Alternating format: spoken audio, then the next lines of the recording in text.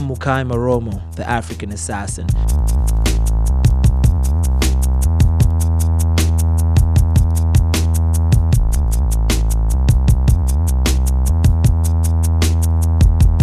Introducing a new five week transformation program.